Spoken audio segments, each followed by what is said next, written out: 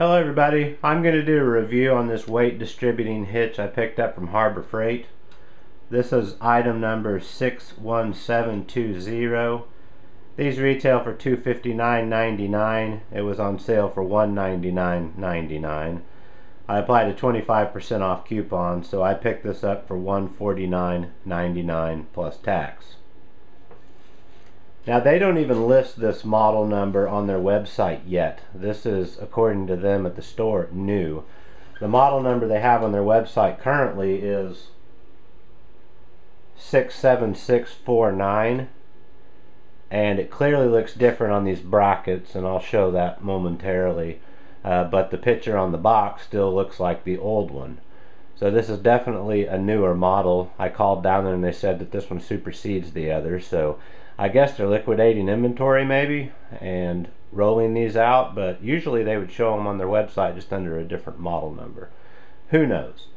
Anyway, what this is for is when you're towing a trailer, there's a lot of weight on the tongue and it will push down on your tow vehicle and in effect raise the suspension in the front and it will make for a uh, hard to handle situation. You have a little bit of difficulty with steering sometimes, especially in a wind condition, uh, as well as braking because you don't have as much weight on the front wheels. So what this does with these bars and these chains and whatnot, it effectively lifts the rear of the vehicle out so you can get everything in the same plane. And it makes everything handle a lot better. Uh, there's also a sway kit that you can buy to control sway and I did buy one of those as well and I'm going to highlight that in a separate video since it is a completely separate product but I will be installing both of these on my rig and it should make it handle better uh, my trailer doesn't really have anything in it right now but even just going down the road uh, especially with winds, big trucks passing me and stuff like that. They just blow me all over the place. So once I get a big load in there, I, I just want to be as safe as possible, and this should be the answer to my problem. Now, this is not for every possible scenario as far as tow weights, this, that, and the other. This has a 10,000 pound capacity for towing, but it has a thousand pound tongue weight maximum. So depending on the trailer you have and your actual tongue weight, you may need to get one of these that's heavier duty or one that's lighter duty. Uh, this is just for demonstration purposes. I'm and by no means an expert on this stuff, so I'm not going to give anybody any bad advice. So you're going to have to do your own homework on that. But we're going to move forward and step through the installation process, and if I see anything that I need to change uh, to what I think is a, a better option, then I'll address that as we go.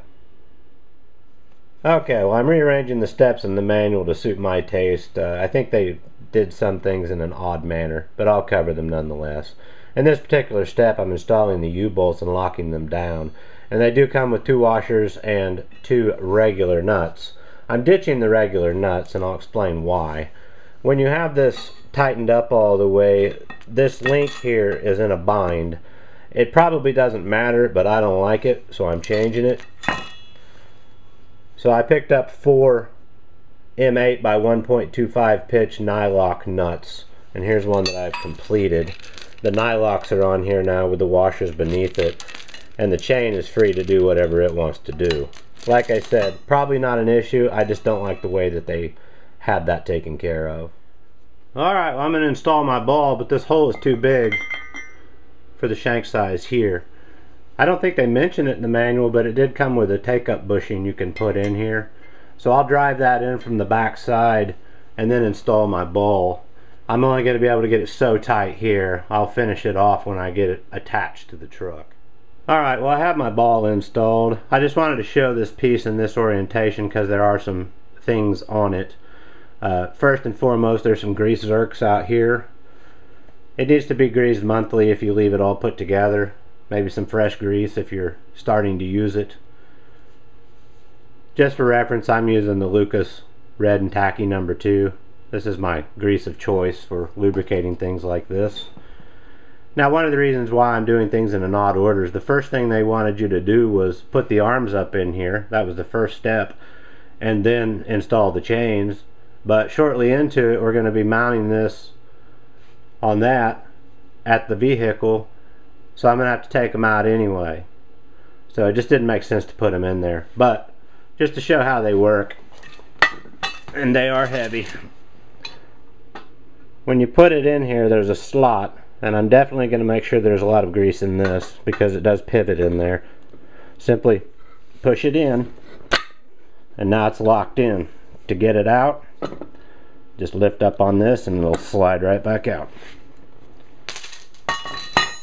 sometimes you may not need to use the bars it just depends on what your load's doing so they do come in and out fairly easily Alright, well I need to determine the required ball height so I can install this thing.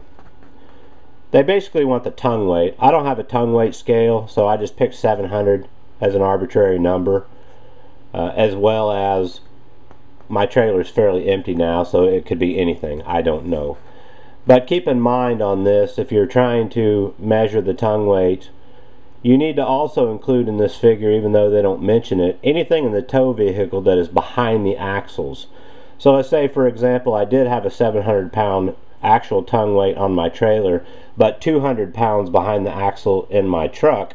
I would start with 900 pounds here. Just keep that in mind. It will be divided by 200 if the vehicle has overload springs. Mine does not, so divide by 100. That leaves me with 7 times an eighth inch. So 7 eighths of an inch is my tow vehicle squat. Then I need to determine the coupler height and I simply took my trailer and uncoupled it on a level surface, leveled the trailer out and measured from the ground to the top of the coupler and in my case it was 19 inches. Keep in mind that these are figures just for me. Don't go by these at all for yourself.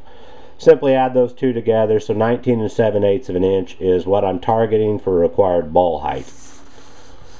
You can install the receiver and adjust this in this manner to try to hit that target or you can install it upside down.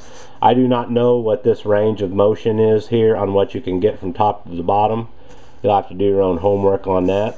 But either way, I'm targeting 19 and 7 eighths from the ground to the top of the hitch.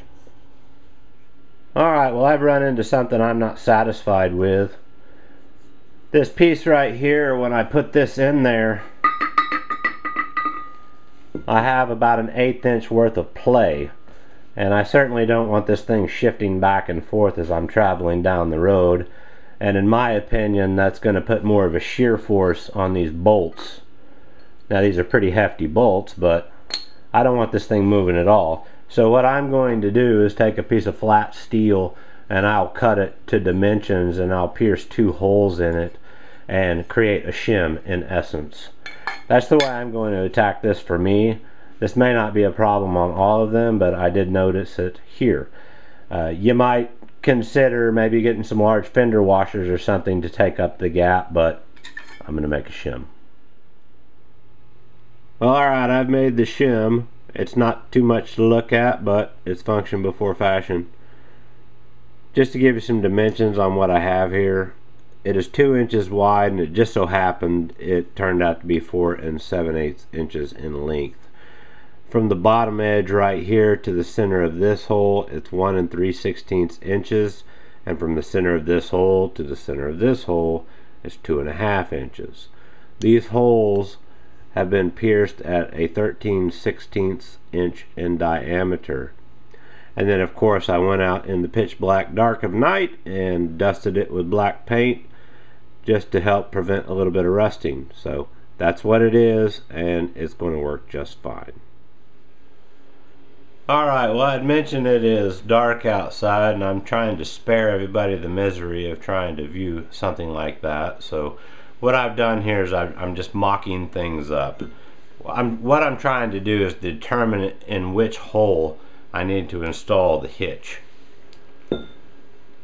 So I have three pieces of tape here on the ground. Uh, I don't know if you can see the marks that I've made on them, but this one represents the ground. I've measured from the ground up to the bottom edge of the hitch which I came out to 14 and 3 eighths. And then I'm targeting 19 and 7 eighths for the ball height at the top. So I'm just going to simply lay this down here on my mark and take this and I'm just doing line of sight and lining up the top of the ball to that line right there. And hopefully you can see that I'm out of travel so that's not going to work. So let me flip this over and try it this way and see what we need.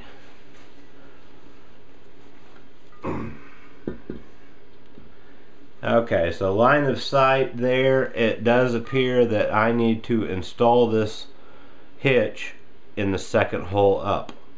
So that looks like that's going to work just fine. Alright, well I've started bolting these two pieces together. I'm in the second hole up for my application. Started inserting a bolt slid in my shim, fed through, and put a nut on the other side. These will be tightened up later. They're left loose for now, but all of that play I had in here is now gone. So I think that shim is a very, very good thing to do. Alright, well I decided to wait for daylight. It was just too hard to try to get things lit up with the camera. Uh, I've installed the hitch in here and I also have the arms put in. I've not lubricated anything. I'll do that as the final step. But one thing I don't like is the shape of this pin right here. It just doesn't really hold on very well. So I'm going to use my original pin. You can see how much better that is.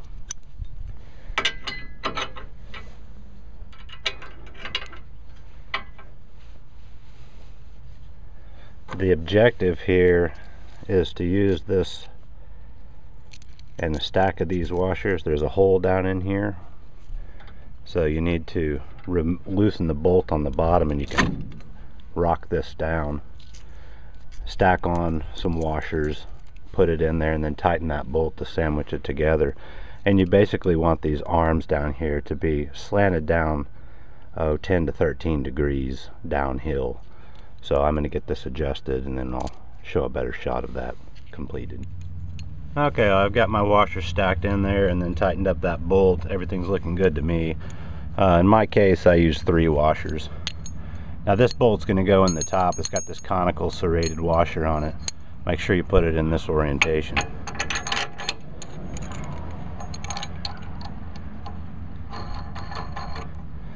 And these will get tightened up thoroughly. Okay, well that's all been snugged up. Hopefully you can see this is running downhill about 10-15 degrees. Uh, those bolts right there are supposed to be torqued to 260 foot-pounds according to the directions. So super tight. Then they immediately jump into setting these brackets over the frame and aligning the chains up to lock them on, but they fail to mention that you can't do that unless you have the trailer sitting on the ball. So that's where we're at right now. Alright, well I was moving into it and I ran into a problem. I had mentioned that this is a new model number and hopefully you can see in this picture that this bracket right here is clearly rounded on the top like a horseshoe. One I received is square. So I'm assuming this is the new design and they didn't bother to go back and retake pictures even though this is the new model number that I have right here. Here's the issue this hook right here is where you hook your chains and you adjust your chain to set the tension on these bars. And it'll fit on the end link which is way too long but it won't fit in between on these links. So evidently what they've done is they've beefed up this part to make it a better product which is a good thing but they didn't beef up the chain. Chain's too small I wish I would have checked that originally, but I probably would have found the same issue if I returned this and got another one. So I think I'm going to go down and just get two links of chain, providing I can find one that'll fit over here and just be done with it. I'm sure that's something they're going to straighten out fairly quickly, so it may not be an issue for other folks, but buyer beware. Alright, well I went down and purchased some 3 8 chain over the 5 16 that was on it. Cost me, no, $8 plus tax.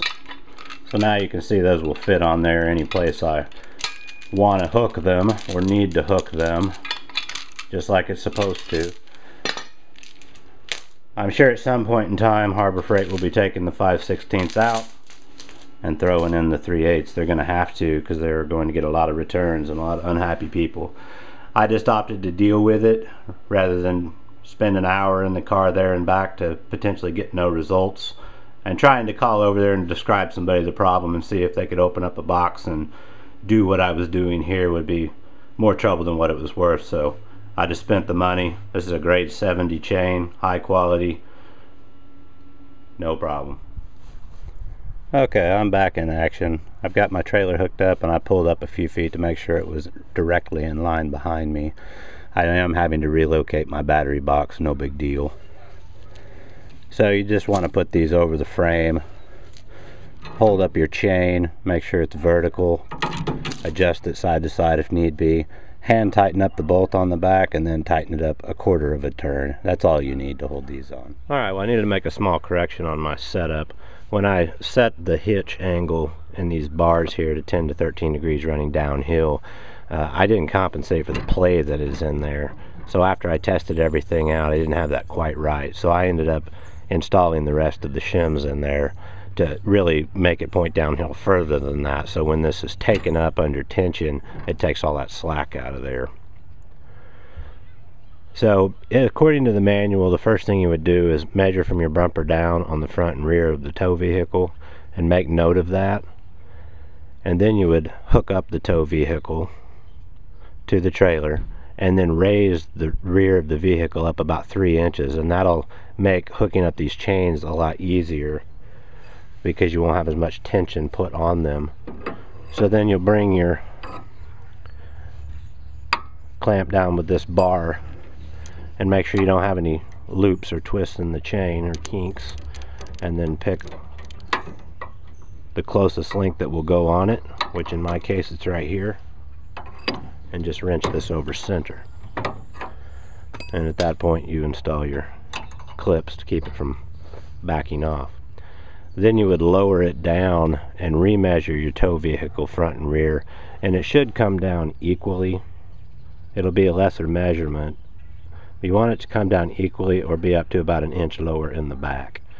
And if for some reason that it is not you may need to remove a link out of here and tighten it up. And then when you're finished towing same principle in reverse to take the tension load off of these bring your trailer back up or the rear of the vehicle back up a few inches and then it's a lot easier to get these to break over center. Alright, well here's a shot of the completed setup. All in all it wasn't too bad to do. I still need to lubricate it and of course once I get my trailer all loaded down I'll maybe need to make some minor adjustments here and there. No big deal. But for you guys that might have toy haulers or heavy trailers, tongue weights, stuff like that, and you're squatting your vehicle, uh, this should take care of it. But do your research and do your homework. I hope this helps in some way. Thanks for watching and good luck.